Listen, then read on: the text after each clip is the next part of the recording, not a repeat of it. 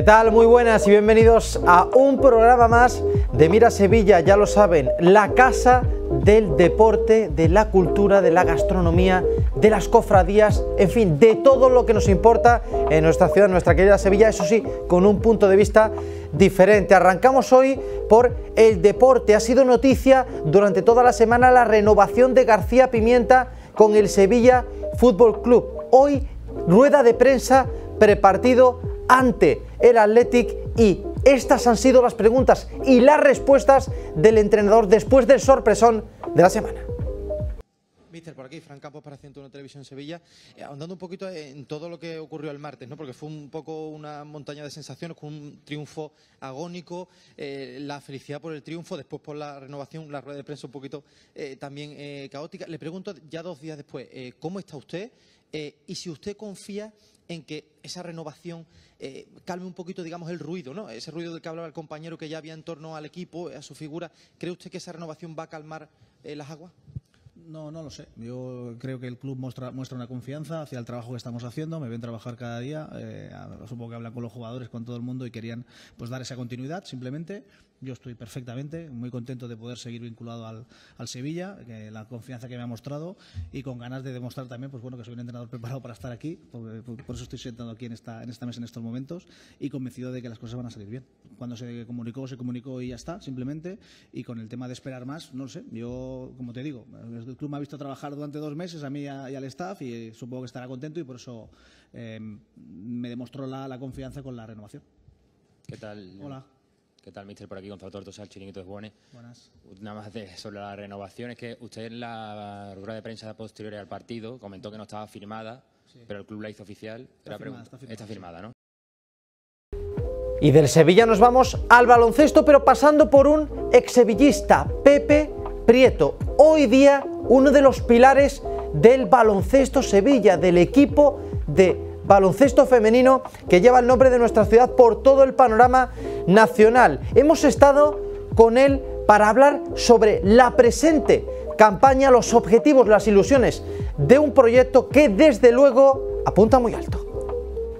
Bueno, Pepe, lo primero, un placer estar aquí contigo. Centro deportivo, además, hay que decirlo, es el categoría ya, porque tú, tú, psicología deportiva, el baloncesto Sevilla, el Sevilla cuando te reclama, Fútbol Club, en fin, de todo. Sí, este es un centro que montaron mis hijos, que los dos licenciados en actividad físicas del deporte y, y, bueno, está relacionado con la salud y el deporte, que es algo que a mí me gusta. Y entonces, bueno, pues aquí hay nutrición, eh, fisioterapia, psicología deportiva y entrenamiento personal. Sí. Tienes de todo, o sea, ya, ya no todo lo que está figura, relacionado al deporte, yo no me salgo de, eh, mi, de mi ámbito de trabajo. y ya están los, ya están los, los niños también. Eh, y además, eh, Pepe, yo creo que especial, tú llevas muchos proyectos, pero especial es el baloncesto Sevilla. Sí. Eh, ¿cómo, ¿cómo, está? Si tuvimos un poquito a la gente, porque la gente ya te, te ha visto hemos, eh, en, Grada 101 y 101 Televisión Sevilla, hemos estado siguiendo eh, al club, pero ¿cómo es la situación ahora mismo? ¿Proyecto? Bueno, el proyecto, la situación es en, en crecimiento. Este año estamos en Liga Femenina 2 y, y hemos creado un equipo eh, que deportivamente está capacitado para optar por el ascenso. Entonces nosotros este año estamos muy ilusionados. Digamos que la continuidad del, del proyecto inicial en el cual uno de los valores más importantes para nosotros era que hubiera chicas andaluzas, chicas sevillanas, y este es el leitmotiv de la creación de este club, ¿no? que, que, haya espacio para que las jugadoras sevillanas y andaluzas puedan competir a un nivel competitivo alto. Y eh, ahí estamos, el año pasado hicieron una temporada fantástica, estamos jugando en San Pablo los sábados a las 7, el año pasado lo convertimos en un fortín porque de, 11, de 13 partidos se ganaron 10, y este año es un poco darle la misma continuidad, hemos mantenido el mismo cuerpo técnico, hemos eh, mantenido también eh, el 80% de la plantilla, hemos incorporado cinco jugadoras nuevas, en crecimiento, también con una cantera que va creciendo cada vez más, tenemos casi 150 niñas haciendo deporte y muy ilusionados, muy conmovidos con, todo este proceso de crecimiento, pero lógicamente con muchas necesidades de ayuda. Pepe, la campaña de Aunao, eh, ¿cómo va? Lo, has comentado tú cómo se puede hacer la gente socio y hay que, hay que darle un empujoncito al club sí. porque es un año importante para el baloncesto claro, este año en Sevilla. Para nosotros la campaña de Aunao es muy importante. La presentamos en Aderezo eh, hace dos semanas. Está yendo bien, tenemos unos 350 abonados. Pero nuestra idea es llegar a los 700, entre 700 y 1000, que es el número que necesitamos. Entonces, bueno, desde aquí animar a la gente a que se haga abonado, ya te digo, es un abono muy barato, 20 euros, te da permiso para entrar en todos los partidos gratuitamente, luego eh, en sorteos que hacemos, se va a sortear también dos viajes con el equipo, además de muchas cosas, y luego que es un horario muy bueno, las 7 de la tarde los sábados, familiar, echar un día, una tarde de baloncesto y luego ver a las chicas competir es muy bonito. Eso te iba a decir porque mm, eh, yo creo que es el año para apostar por eso, ¿no, Pepe? Tenemos eh, eh, en el masculino el Betis que, resurge después de, todo lo que aconteció en los últimos tiempos, el Caja 87 que aparece y el baloncesto Sevilla que está ahí apostando por el baloncesto femenino muchos años, ¿no? Yo mm, no sé, ¿dónde crees tú que puede estar la clave, digamos, para que Sevilla como ciudad le dé ese empujón al baloncesto, vuelva a ese espíritu del Caja San Fernando? Pues creo que es un año único, como tú estás diciendo, es un año único. Tres entidades eh, en competiciones nacionales compartiendo San Pablo. Eh, puedes ver Oro, Le Plata, Liga Femenina 2. Puedes ver un partido cada semana. Creo que es un lujazo para la gente que le gusta o que nos gusta el baloncesto. Eh, está claro que hay una, hay una base de baloncesto que está resurgiendo y que se está generando nuevas ideas y nuevas cosas en el baloncesto sevillano. Tenemos un ejemplo muy claro que es Málaga. Málaga es un ejemplo en el que nos tenemos que fijar de cómo hacer las cosas. Y para eso, para que este baloncesto siga creciendo, necesitamos mucha ayuda por parte de, de, los aficionados, de los patrocinadores y de los ayuntamientos y de la Junta de Andalucía. Necesitamos ayuda porque competimos en, minoría con respecto a otras ciudades. Nosotros, por ejemplo, llevamos el nombre de Sevilla por, toda España, por Cataluña, por tal, y vemos que otros equipos pues tienen unas ayudas por parte del ayuntamiento muy altas, nosotros tenemos las básicas y las justitas, pagamos instalación, nos cuesta mucho sobrevivir y se necesitan mucha más ayuda. Ayudas por parte de las entidades que tienen que apoyar, nosotros creemos que tienen que apoyar el deporte, porque esto es eh, eh, lo que tienen que hacer las chicas hoy en día eh, cada vez que convertimos a una niña en jugadora de baloncesto, le estamos permitiendo tener valores deportivos, le estamos permitiendo acceder a unas relaciones sociales diferentes, la alejamos de otras cosas. Eh, entonces, lógicamente, estás invirtiendo en salud y ahí creemos que las entidades tienen que hacerlo. Tenemos grandes patrocinadores que están con nosotros desde el, desde el inicio, DOC, Garden Store, Damas, este año el Grupo Hereda, te a decir como 10 patrocinadores que son los grandes protagonistas de que estemos aquí pero necesitamos la ayuda del ayuntamiento, por supuesto. Pepe, en ese sentido, tú, eh, lo hemos dicho al principio, eh, tú tocas eh, tu psicología, el fútbol, los medios de comunicación, el baloncesto Sevilla con esa falta de ayudas que hay, ¿no? Con esas dificultades que aparecen en un proyecto de esta envergadura y además que tiene unos valores tan bonitos como los que tú has dicho, como, bueno, ayudar a esas niñas, ¿no? A que, sean jugadores de baloncesto. Eh, ¿Cómo mantienes la, ilusión? ¿Cómo estás tú personalmente de cara pues al proyecto? Bueno, porque este proyecto lo fundamos en el 2017, 10 personas que pensábamos que había que haber que tenía que generarse un movimiento social para que esto funcionara, porque institucionalmente no lo había y bueno, algunas días han ido cambiando por dificultades de la vida o por circunstancias y otros seguimos en el proyecto porque personalmente para mí es una ONG, para mí el baloncesto Sevilla es devolver al deporte todo lo que me ha dado en vida. A mí me ha dado tantísimo el deporte que, que quiero devolver parte a esto y, y, el baloncesto para mí es mi ONG. Pero mi ONG y la de los 10 eh, directivos que estamos en este club, que echamos horas, que ponemos dinero, que ponemos nuestro esfuerzo, que mm, viajan con el equipo, que están montando ropa. Son 10 personas que, que quieren ayudar a que las niñas jueguen al baloncesto. Por parte de las instituciones tenemos una ayuda mínima. Comparada con otros equipos, pues te digo que nosotros tenemos de, de ayudas, tendremos de nuestro presupuesto de ayudas municipales, tendremos un 5%, cuando la mayoría de los clubes de nuestra competición tienen el 40 al 45%. Eso todo lo hacemos con... Hay mucha diferencia, mucha diferencia. Y luego tenemos la gran fortuna de que ya hay muchas jugadoras de Sevilla que se han venido de Estados Unidos, eh, tenemos jugadoras que se han venido de Granada a jugar con nosotros, hemos hecho un equipo precioso. Este año verla jugar va a ser una maravilla, porque además vamos a estar, la idea es estar en la parte alta de la tabla. ese es el objetivo. Pepe, por, lo tanto, ¿qué mensaje le mandas tú? Hablamos antes de la campaña, ¿no? ¿qué mensaje le mandas a esas familias que nos estén viendo? Eh, oye, que, las chicas, como tú dices, que, quieran eh, baloncesto en Sevilla tienen ahí la cantera del club, pero ¿qué mensaje para que la gente se enganche a esto? Pues, venga, que venga. Pues el mensaje es: eh, si el fútbol lo puedes ver en la tele. Si te haces abonado del fútbol, cuesta una pasta terrible. eh, las, el deporte de la mujer el deporte y la mujer tienen que crecer en nuestra sociedad porque son valores positivos. En esta ciudad tenemos un grupo de jugadoras que juegan al baloncesto de maravilla y que necesitan que las vean, necesitan sentirse acogidas, necesitan sentir cada vez que juegan en San Pablo que hay gente que las quiere ver, que lo que están haciendo y todo su esfuerzo que están haciendo hay una recompensa emocional por parte de que hay gente que las sigue. Y para eso no tenemos que hacer abonados, tenemos que estar con ellas, tenemos que acompañarlas. No vale que estemos 10, vale que estemos 5.000 detrás de ellas. Eh, el motor es la gente. Entonces, que vengan, que nos ayuden, que nos apoyen. Sin, sin, los abonados es muy complicado que nosotros mantengamos la categoría muchos años. Pero estamos en un momento precioso para ascender, para crecer, para convertir a Sevilla en una ciudad también de baloncesto. Creo que estamos en un momento maravilloso. Y del deporte nos marchamos al empleo, algo que nos preocupa y mucho. Por eso Alberto Romera ha estado en la undécima feria del empleo de la Universidad de Sevilla. Preste mucha atención porque merece la pena.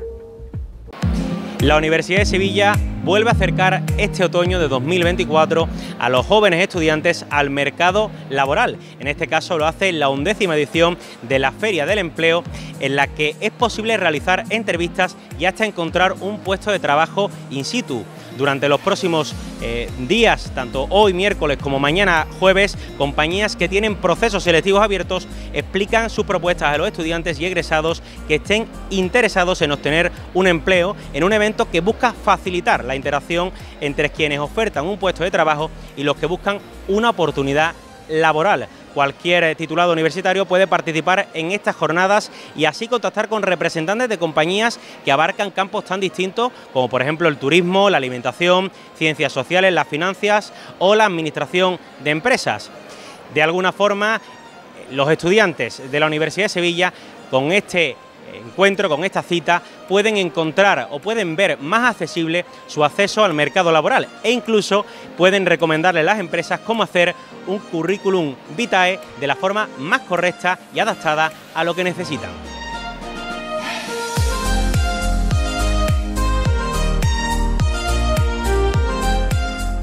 Nosotros lo que buscamos es acercarle a los estudiantes lo que son las empresas.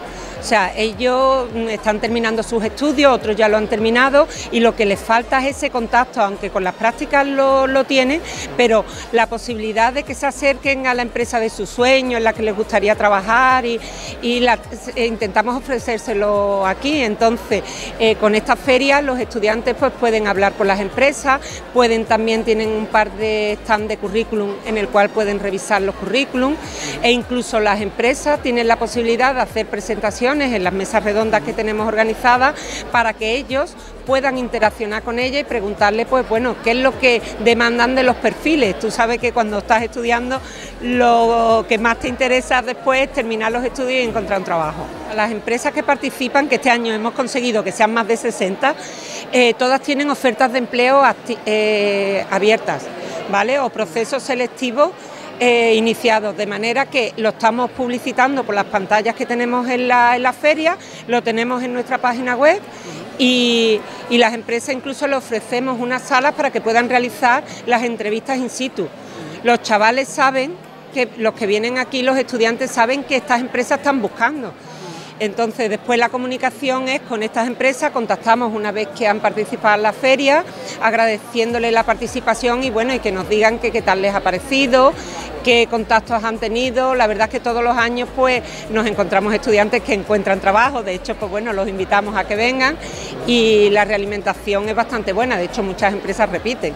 El año pasado asistieron unos 3.000 y bueno, nuestra idea es esa, de que lleguen más estudiantes. El objetivo de organizar la feria en el mes de septiembre es para que no les pille porque bueno, nosotros buscamos que ellos, que son los interesados, sean los que vengan, pues que les pille al inicio de curso, que no estén con los exámenes y eso y puedan asistir. Entonces, bueno, hemos hecho mucha publicidad en redes y a la vista está como tenemos ahora mismo el salón. De momento estamos batiendo récords. Espero que durante los dos días que queden, pues sigamos teniendo la misma afluencia.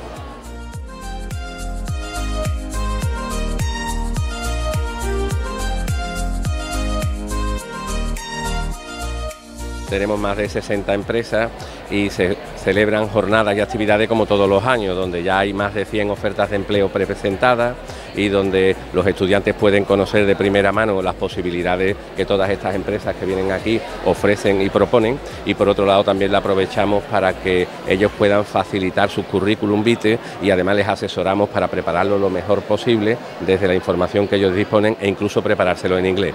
Es un año más un momento de fiesta y de demostrar la conexión que la universidad tiene con la sociedad y la importancia que tiene para nosotros la empleabilidad de nuestros egresados. Las áreas con, más empleabilidad son las, las áreas tecnológicas, todas las ingenierías, ingeniería, luego son las de la salud, en segundo lugar, y luego en las ciencias sociales y jurídicas hay una asimetría, una diferencia entre unas carreras y otras, y luego ciencia está en, esa, en ese espacio, en una zona intermedia, y la que menos eh, salidas profesionales tiene, y sigue siendo así, son las artes y humanidades tenemos en los 11 años un incremento en las tres cuestiones, el número de ofertas que se dan y por tanto el número de contratos que se firman, el número de empresas que vienen y el número de personas que acuden, que yo creo que es una señal inequívoca del interés que demuestra este certamen, esta feria. Yo creo que es una iniciativa muy importante, yo acabé la carrera el año pasado, entonces cualquier iniciativa que ayude a, los alumnos a encontrar trabajo más fácil eh, es bienvenida, porque tenemos una barrera de entrada en el mercado bastante importante, entonces una iniciativa que nos acerque directamente a las empresas siempre es bienvenida. Yo creo que es muy importante este tipo de, ferias, por así decirlo, ya que es una oportunidad para la gente que está recién graduada y con esto al final eh, ayuda a los, a los, alumnos recién graduados a conseguir un trabajo más fácilmente, ya que dar la cara no es todo a través online o de manera telemática, entonces hay un acercamiento entre la empresa y lo que es el recién graduado y es una buena oportunidad para conseguir un trabajo a futuro, ya que ahora mismo está un poco más complicada la cosa en torno al tema de que necesita mucha experiencia para conseguir trabajo y creo que es una buena oportunidad. Para nosotros es súper importante, por eso solemos venir todos los años a la Feria de Empleo de Sevilla y a otras ferias en otras universidades, porque por una parte nos acerca, como dices, al talento joven, eh, nos da oportunidad de conocer perfiles con ganas, con estudios, con, esas ganas de, formar parte del mercado laboral y que podamos eh, incluir en nuestros procesos de selección y en nuestros hoteles. Nos aporta muchísimo y por otra parte dar a conocer también nuestra compañía y fomentar que las personas se interesen en trabajar con nosotros. Bueno, pues nosotros ya tenemos experiencia de años anteriores, no es la primera vez que venimos y tenemos trabajando dentro de nuestro grupo empresarial a personas que hemos conocido en esta feria. Así que sí que le vemos, que le vemos el valor que tiene, eh, vamos a seguir viniendo porque atraemos talento, nos posicionamos y además pues hemos conseguido lo que decía, eh, darle trabajo y que tengan oportunidades personas que son también de la Universidad de Sevilla. Yo creo que es una iniciativa bastante buena por parte de la universidad porque es verdad que cuando terminamos como nuestros estudios muchas veces estamos muy perdidos, no sabemos dónde buscar, no somos conscientes de que realmente sí que hay oportunidades y, o no sabemos por dónde empezar a buscarla. Entonces yo creo que esto está muy bien pues para eso, para también nosotros ver que hay oportunidad más allá de la universidad y que puede que haya algo para nosotros. Sí, yo creo que sí, vamos, y esta feria está muy bien porque puedes ver como diferentes empresas de ámbitos muy diferentes y yo creo que está muy bien, sobre todo para los estudiantes que están empezando la carrera, para que vean qué hay fuera de la universidad. Yo creo que es una manera de conocer un montón de empresas de distintos sectores que a lo mejor si no estuvieran aquí hoy pues no conoceríamos, por ejemplo, y hay muchas que no las conocía antes. Y también es una manera, eso, como tú dices, para darse a conocer y de demostrar tus dotes y tus cualidades a las empresas. Claro, para nosotros es muy importante este tipo de eventos porque al final el sector en el que nosotros venimos, que es la construcción, es un sector que ahora mismo está en auge y cuesta pues cierta dificultad contar con, profesionales, ¿no? Entonces este tipo de eventos eh, hacen al final un nexo pues de unión entre la empresa y posibles candidatos futuros que ahora mismo pueden estar estudiando de cara pues a que puedan trabajar en nuestro sector.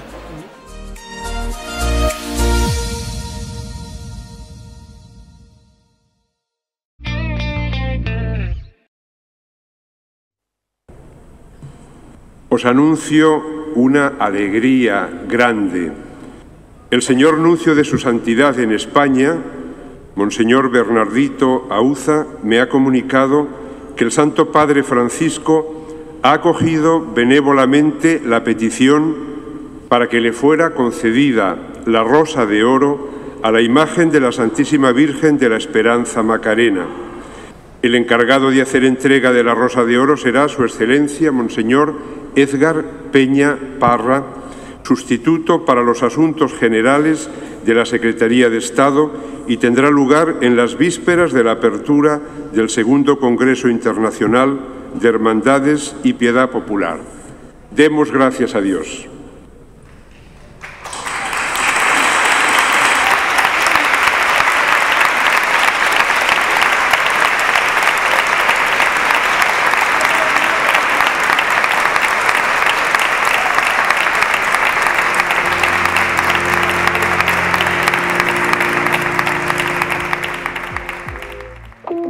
Pues esta ha sido la noticia más destacada de la semana, incluso podríamos hablar del titular más importante de los últimos años junto a la noticia de que el cachorro procesionará en Roma junto con la esperanza de Málaga. Así anunciaba el arzobispo de Sevilla el pasado domingo en la Basílica de la Macarena que el Papa Francisco le ha concedido la rosa de oro a la Virgen de la Esperanza. De esta forma, la Macarena será la tercera imagen en España en recibir este obsequio después de la Virgen de la Cabeza de Andújar y la Virgen de Montserrat de Cataluña. Por tanto, se trata de un reconocimiento inédito, único, histórico, que marca un antes y un después en Sevilla. Primera imagen en Sevilla y su provincia que consigue esta rosa de oro que directamente entrega el Papa Francisco. Y lo cierto es que en el mundo solo hay 20 imágenes que poseen esta rosa de oro que será entregada en las vísperas del Congreso Internacional de Hermandades y Religiosidad Popular por parte del arzobispo Edgar Peña, sustituyendo así al Papa Francisco. Es cierto que desde que se anunció el pasado domingo hasta hoy, ha habido muchas personas que han ido conociendo su significado. Gracias a Jesús Romanov pudimos ahondar más en todo lo que significa y todo lo que supondrá la concesión de la Rosa de Oro.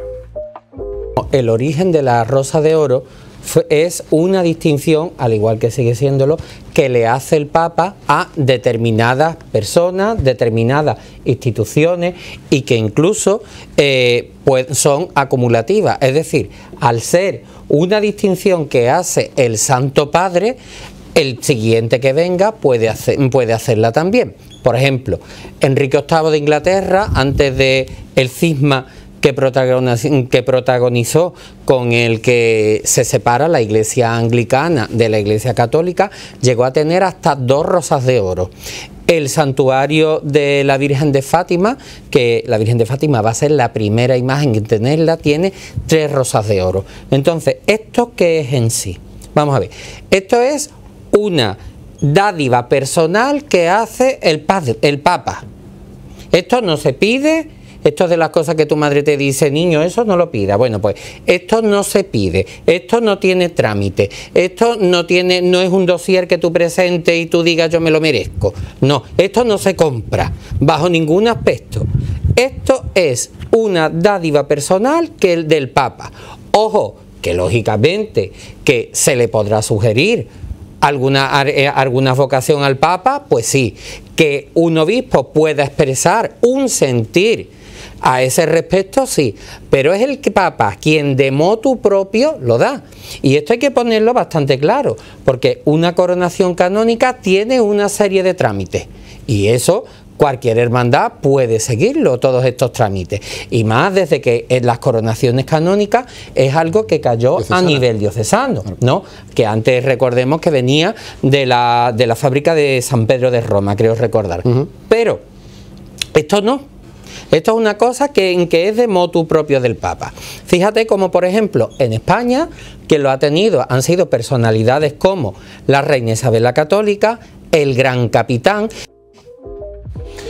Otra de las noticias más destacadas de esta semana fue el pleno celebrado el pasado lunes en el Consejo de Hermandades y Cofradías situado en la calle San Gregorio, donde los hermanos mayores de penitencia rechazaron que las hermandades de vísperas percibieran la misma subvención que el resto de corporaciones que van a la Santa Iglesia Catedral. En Al Cielo este miércoles tuvimos la presencia del hermano mayor de la Milagrosa, Javi de Martos, que explicó así lo sucedido en ese pleno y sobre todo eh, las sensaciones, las emociones y las declaraciones que pueden hacer el conjunto de hermandades de vísperas después de conocer esta noticia, cuanto menos desagradable para ellas. Mm, lo que yo creo que evidencia eh, esta situación es una falta de empatía, eh, de solidaridad, de caridad eh, de fraternidad y en definitiva de hermandad, ¿no? Todo el mundo te dice a la cara unas cosas y después verdad es otra, ¿no? Muchos golpes de pecho, pues en verdad al final todo el mundo mira para lo suyo. Siempre te dicen, oye, lo que te haga falta, aquí está la hermandad, lo que te haga falta, bueno, pues a, las hermandades del bien y dolor y de pasión nos hacía falta que nos ayudaran las demás y no nos han ayudado. yo creo que por eso, ¿no? Yo creo que también es falta de conocimiento porque eh, las cantidades por las que se ha llevado todo esto son casi irrisorias, casi irrisorias. Si quieres te doy datos, cuando tú me lo pidas te doy, te doy datos para que toda la, la, gente que está viendo el programa lo sepa, porque hay mucho desconocimiento. ¿eh? Y ya te dije una vez aquí en una entrevista que uno de los mayores problemas que hay es estar ignorante a las cosas, lo que te convierte en un verdadero ignorante y hablar de temas cuando no tienes datos. Venga, ¿cuáles son?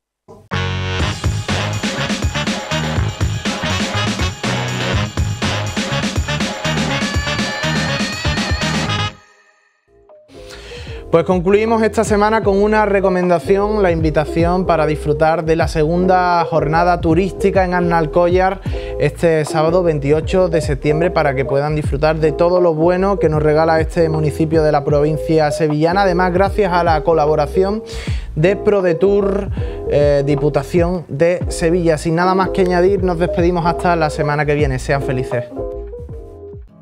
¿No os ha pasado que las cosas salen mejor cuando no se planean? Las mejores sorpresas son las que nos esperan. Basta con dejarnos llevar, con permitir que las cosas sucedan por sí mismas, con la sutileza de la casualidad, con la apertura de quien no espera nada, pero lo sueña todo.